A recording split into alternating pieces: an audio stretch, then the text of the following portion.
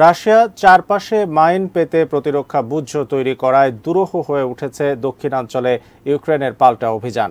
অভিযানে নেতৃত্ব দেয়া ইউক্রেনের জেনারেল ওলেকসান্দার তারানোভস্কি জানান, মাইনের কারণে সামনে এগুতে পারছে না তাদের ট্যাঙ্ক ও সাজোয়া যান। এক্ষেত্রে সম্পূর্ণ পেশাদারিত্বের পরিচয় দিচ্ছে রাশিয়া। এ অবস্থা সামাল দিতে তাই ট্যাঙ্ক বা সাঁজোয়া যানের তুলনায় সেনাদের দক্ষতার উপরই প্রাধান্য দিতে হবে বলে মন্তব্য করেন তিনি। আন্তর্জাতিক গণমাধ্যম বলছে, রুশ প্রতিরোধ ভাঙতে খুব ভালোভাবেই ইউক্রেনের ফোর্টি সেভেন্থ ব্রিগেডের সেনাদের প্রশিক্ষণ দিয়েছে পশ্চিমারা। তবে রাশিয়ার পেতে রাখা মাইনের কাছে এখন অসহায় তারা। এই সুযোগে তাদের উপর গোলাবর্ষণ করছে রুশ সেনারা। এদিকে ইউক্রেনের ওডেসা বন্দরের একটি কার্গো টার্মিনালে বুধবার রাতে রুশ হামলায় এক নিরাপত্তারক্ষী নিহত হয়েছেন।